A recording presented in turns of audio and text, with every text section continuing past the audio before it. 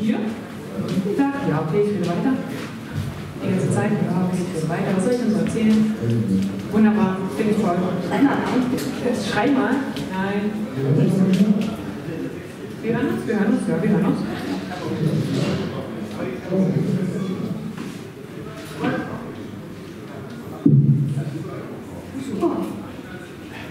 Oh, das ist ja hier wie Lemmy damals. So, Freunde, wir kommen jetzt hier zum ersten Live-Hörspiel vom Hörspielprojekt. Es trägt den Titel Hund, Katze, Maus. Und wenn ihr Bock habt, geht ihr nach dem Hörspiel einfach mal nach oben, denn da ist das Hörspielprojekt mit einem riesigen Stand und sie haben gefühlte 3000 Hörspiele mit und ihr könnt einfach spenden. Also ihr könnt theoretisch 100 CDs mitnehmen und packen 5 rein und fertig ist laut. Aber erstmal gibt es hier jetzt äh, Hund, Katze, Maus. Bitte einen großen Applaus für Dagmar Bittner, Laura Schmidt und Michael Herr.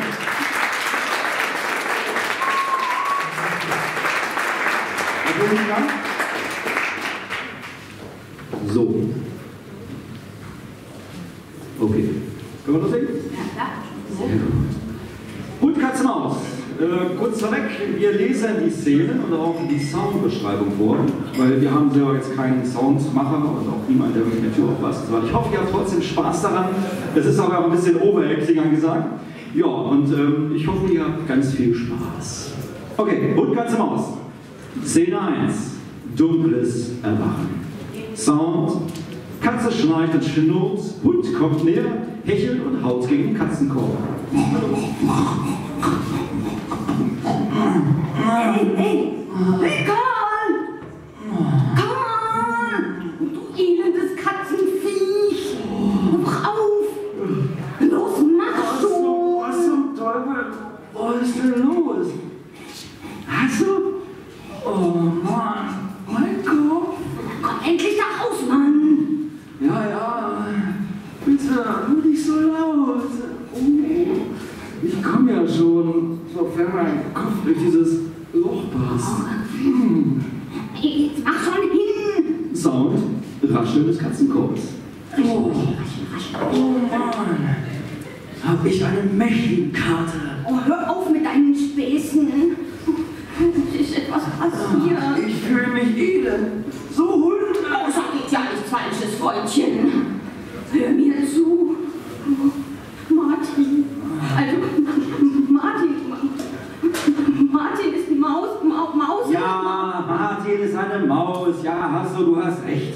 Ich bin ein Kater, du bist ein Hund. Ein kleines Detail in der natürlichen Nahrungskette, das ich... Martin ist Maus und tot. Martin ist tot? Ja, Wo? da im Wohnzimmer. Oh. So, was heißt hier? Oh, Martin ist mausetot. Er ist bei seinen Ahnen. Er gibt keine Pieps mehr von sich. Er ist eine Ex. Oh, Hasso, Hasso, bitte jetzt nicht wieder diesen Hundesketch aus dem Fernsehen, ja? Das war kein Hund, verdammt, Karl. Martin liegt tot auf dem Teppich im Wohnzimmer und du machst hier Witze. Du meinst das ernst, oder? Wir hatten doch heute Morgen zusammen einen gehoben und... Ja, weiß ich nichts mehr. Einen gehoben? Sieh dir diese Sauerei doch mal an. Frauchen benutzt mich. Oh, da kommt mir so am Arsch. Halblang. Gehen wir erstmal hin. Oh, na endlich wirst du vernünftig. Szene 2. Tatortbesichtigung. Sound, leises Bodengetappel, Hecheln, Raumwechsel. Oh, Scheiße. In der Tat, Karl. Ein Riesenhaufen davon. Mehr als ich jemals, also Schau dir mal an, wie das hier aussieht. Die leere Schnapsflasche, das zerstörte Inventar. Oh, das Bild von uns beiden liegt abgekaut auf dem Boden. Oh, verdammt. Und dazwischen liegt Martin. Ah ja, die Maus. Schrecklich. Sieh nur, wie er da liegt. Alle Viere von sich gestreckt. Sein Fell ist ganz strubbelig von dem Whisky aus der Flasche neben ihm. Oh Gott, es ist so furchtbar. Ah, möge er Mäusehimmel immer seinen Käse finden. Amen. Hey, was ist los mit dir? Er war unser Kumpel, ein Freund. Wir waren unzertrennlich. Naja, also äh, du hast ihn nur nicht gefressen. vergessen. Aber ansonsten waren wir unzertrennlich. Und, und nun sieht er doch an. Was machen wir denn jetzt? Ich muss sagen, hm, wir lassen es so, wie es ist und äh, schieben es auf die Maus. Bist du irre? Frauchen glaubt uns das niemals. Und, und, und außerdem hat Martin das nicht verdient. Wir sind ihm was schuldig. Also zumindest sollten wir in Erfahrung bringen, woran er nun genau gestorben ist. Was willst du? Na gut, dann würde ich sagen, äh, du sicherst die Spuren und ich adressiere Martin. Ist das ein Deal? Du willst ihn aufschneiden? Haben wir nicht schon genug Probleme? Hm? Hm?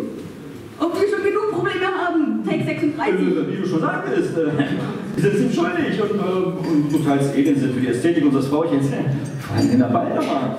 Denk nur an die äh, die jeden Tag... Oh komm, dann lass die Bälle aus dem Spiel, bitte. Na, dann sind wir uns also einig? Du wirst Martin nicht aufschneiden. Wir sichern erstmal nur die Beweise. Ja, da spricht ein wahrer Spürmann. Also gut, schlitzen wir nicht auf, aber die Leiche muss verschwinden, sonst kriegen wir richtig. Ärger. Wir?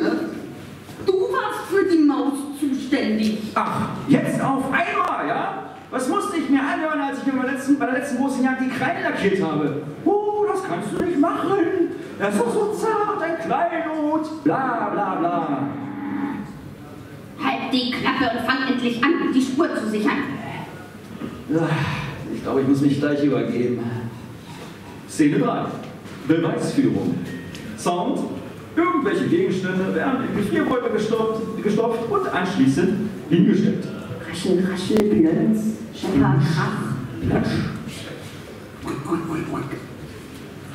Oh, ja, fertig. Das war ein hartes Stück Arbeit, ja. Also die großen Gefrierbeutel sind jetzt auch alle.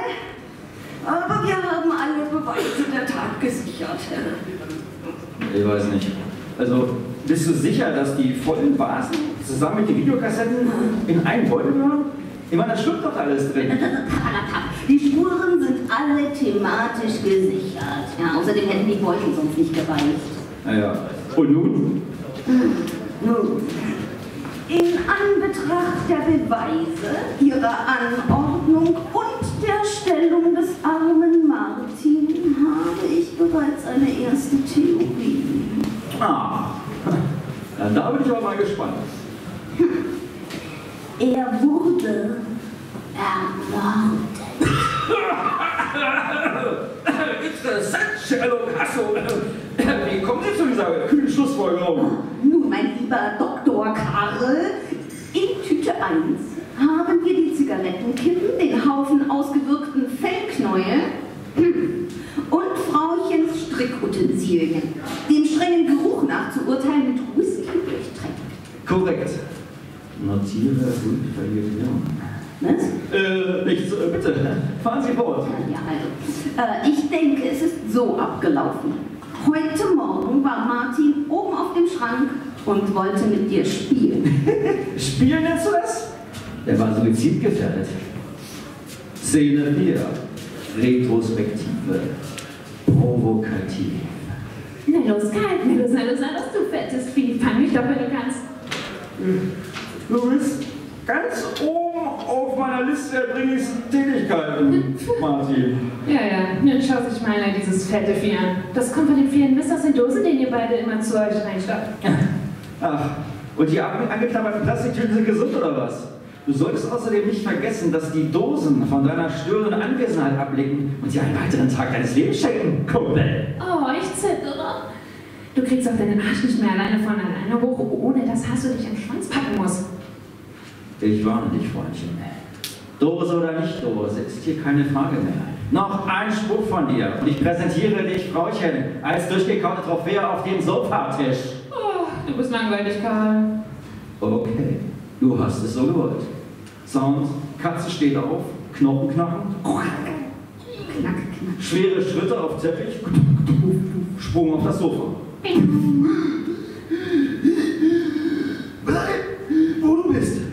Ich bin gleich bei mir.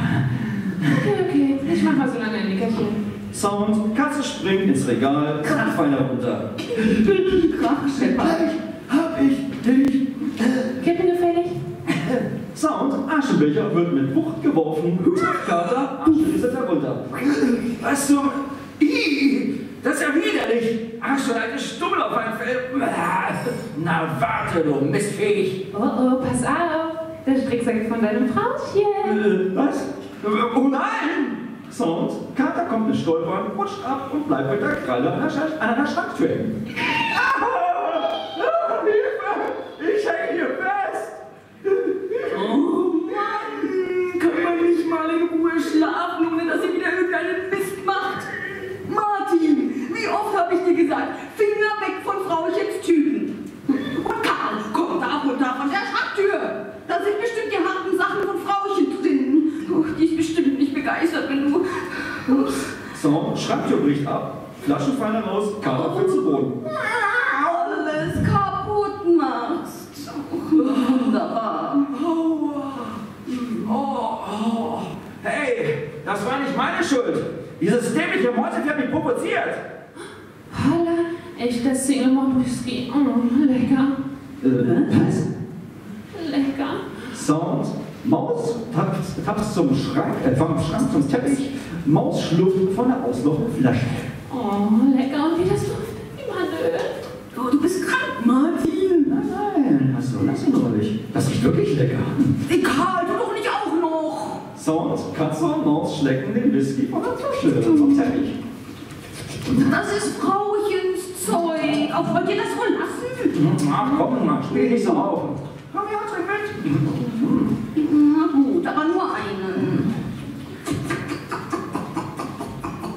Szene 5. Filmriss. Ja, das ist so der Moment, an dem Filmriss anfängt.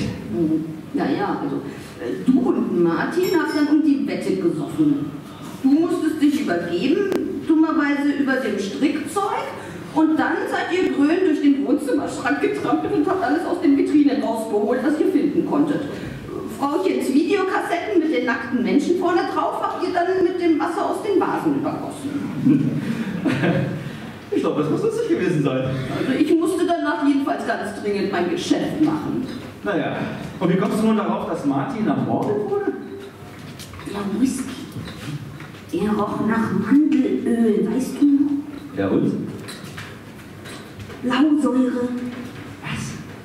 In dem Whisky war Blausäure. Blausäure. Ja. Willst mir allen Ernstes sagen, dass der teure Single Malt Whisky mit Blausäure versetzt war, um Martin zu töten?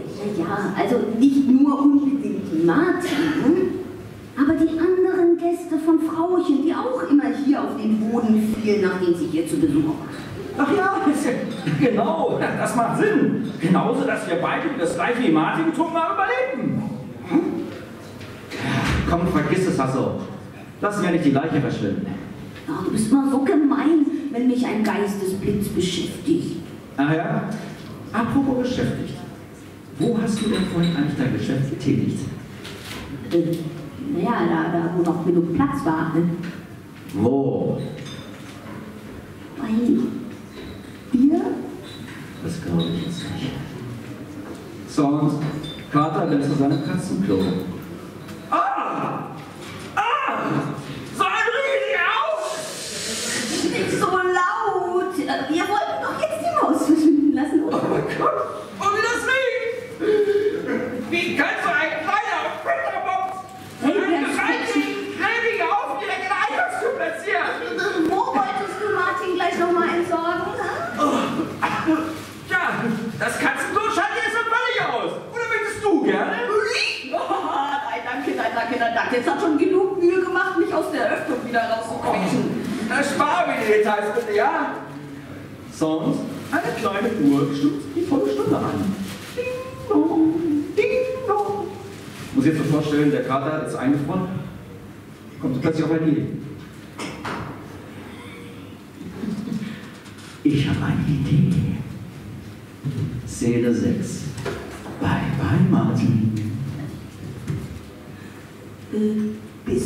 sicher, dass die Mikrowelle ausgerechnet das Richtige ist? Also ich meine, das sieht Frauchen doch sofort, wenn sie die Klappe aufmacht. Nicht, wenn das Gerät nichts einschalten. Du willst ihn grillen? Oh mein Gott, warum das denn? Warum, warum? Damit er sich seine Bestandteile auflöst. Verstehst du? Dann ist er nicht mehr da. Wir kriegen keinen auf, weil wir Frauchen nicht erklären müssen, dass uns die Maut besoffen gemacht hat. Und Ach, ist jetzt auch egal. Ich will sehen, wie dieser Körper Blasen schlägt. Du bist einfach nur krank, weißt du das? Hey, er ist eine Ex-Maus. Das waren deine Worte. Es würde nicht jucken, wenn er explodiert. Na gut, bringen wir es hinter uns. Hey, hey, wo bin ich? Was ist das für ein Ort hier? Sound. Mikrowelle wird eingeschaltet. Hey! Hilfe! Mann, lasst mich hier raus! Oh Mann, mir wird doch immer so heiß! Lasst mich raus! Sound. Morgens Hammer von Take 128 bis 133 an die Scheibe. Da, da, da, da, da, da, schau an der Scheibe. Das ist Martin. Der ist gar nicht tot. Schnell, mach die Mikrowelle aus. Oh, oh nein, wie? Ich weiß nicht wie. Ich warte mal, bis die verdammte Zeitung ist und, und, das sind 20 Minuten. Oh mein Gott, mach auf, ihr Schweine! Drück den verdammten Knopf. Das kennt ihr woher. Äh, Sound, Carter versucht den verdammten Knopf zu drücken. Es geht nicht! Es geht nicht! Ah! Szene 7. Danach kommt das Aufwischen. Sound, Spachtelgeräusch von Frauchen in der Mikrowelle. So eine Sauerei! Wenn ich diese beiden zu fassen kriege. Karl Hasso! Hört ihr mich? Ich komme und dann hole ich euch. Und dann drehe ich euch den Hals um. Schön langsam. Sound, wilde Spachtelkratzen, die Tiere haben sich im Schrank versteckt. Vielleicht war die Mikrowelle doch keine so gute Idee. Na klar war das eine gute Idee. Äh, sonst hätten wir ja gar nichts mehr zu essen bekommen. Hast du wirklich keinen Appetit? Oh nein, der ist mir gründlich vergangen. Ach, nun habt ihr nicht so. Ich habe nach Martin extra genügend äh, Dosen nach Hunde- und Katzenfutter davon reingetan. Das war aber auch das Geringste, was du machen konntest. Um ein Haar wäre ich mausetot gewesen. In der Tat. Äh, naja, zum Glück hatten wir die Mikrowelle rechtzeitig abschalten können. Allerdings äh, hatte ich die Reaktion der Dosen auf die Mikrowelle nicht so ganz erwartet. Sound, Schritte von Frauchen bewegen sich aus der Küche. Stücke, Stücke, Stücke. Wo geht sie denn jetzt hin? Doch nicht etwa. Boah. Karl!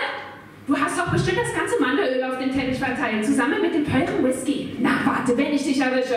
Ah, einfach ignorieren. Oh, jetzt geht's ins Badezimmer. Oh nein! Was ist denn das für ein riesiger Haufen vorm Katzenklo? Hasso, komm sofort hierher! Ah ja, wenn Frauchen ruft, dann muss ich wohl hin. Ach, nee. So, Schrankklappe öffnet sich und der Hund verlässt den Schrank. Wir zählen auf dich, Hasso! Ja, Hasso, das schaffst du! Danke, Freunde. Ich weiß, dass ich auf euch zählen kann. Sound. Hund verschwindet. Ich gebe ihm zwei Minuten. Ich setze auf eine. Wette gilt. Wie dem auch sei. Es trifft nicht den Falschen. Ende!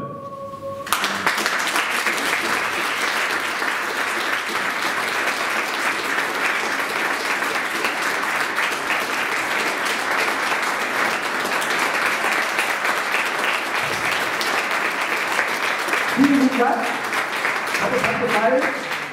Einige von euch kennen es ja vielleicht schon, zumindest die, die jetzt auch bei hörspielprojekt.de auch irgendwie aktiv sind oder die Hörspiele von uns kennen.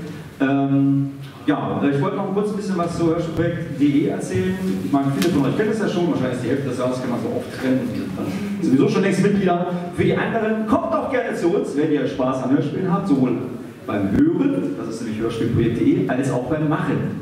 Und das ist eine Seite, die nennt sich hörtalk.de. Da sind wir eigentlich alle registriert, hier auf der Bühne stehen und noch einige andere hier im Saal. Und äh, wir suchen eigentlich alles, die Spaß und Lust und Laune haben, kreativ etwas zu entwickeln, zum Beispiel ein Skript zu schreiben oder Musik zu machen oder zu sprechen oder tatsächlich auch ein Hörspiel abzumischen oder einfach nur zu diskutieren, zu hören und sonst irgendwas. Ähm, wir sind eine recht große Community, wir sind schon recht lange im Geschäft, würde ich jetzt mal sagen. Ähm, wir verkaufen natürlich unsere Sachen nicht, das heißt also, wir geben die quasi frei Haus zum Download äh, frei Und ähm, das kann sich jeder runterladen, kann jeder kopieren, kann jeder weiter verschicken, nur nicht verkaufen. Das ist nicht so ganz erlaubt. Aber ansonsten könnt ihr mit den Dingern alles machen. Also auch an der Wand tapezieren oder irgendwie das Fußboden auslegen, wie auch immer. Und Hund, Katze, Maus könnt ihr auch oben mitnehmen. Da sind noch so auch ausgedruckt, also schon als CD gebrannt und äh, mit Cover schön ausgedruckt, äh, oben am Stand vom Hörtalk, Hörspielprojekt. Äh, wer das lustig fand und die Geräusche gerne in echt hören möchte, so als echtes Geräusch. Genau, nicht so dilettantisch vorgetragen wie meine Möglichkeit gerade. Ähm, also, wie gesagt, wir haben ganz viele Sachen. Wir haben Horrorspiele, wir haben Science Fiction, wir haben Humor, Fantasy, wir haben auch ein bisschen Steampunk, wir haben, ähm, was wir noch, Dramen haben wir noch, Krimis. Ähm, also wirklich alles dabei, Kinderhörspiele zu vergessen. Ja, also man kann sich wirklich alles angucken. Äh, es gibt vielleicht nicht so die ganze Auswahl als CD gebrannt, aber wir haben ganz viel zum Download und ihr findet da auch jede Menge Flyer und Informationen, könnt ihr Leute auch fragen, was der Sache ist und was alles gemacht wird und so. Ähm, und da wünsche ich euch ganz viel Spaß. Ne? Geht ruhig hin, guckt es euch an, braucht gar nicht auf hier vorne sitzen oder so, macht einfach. Und, ähm, und ja, dann freue ich mich auf jeden Besucher, der da so kommt. Und dann, ne? ja, bis dann, viel Spaß noch.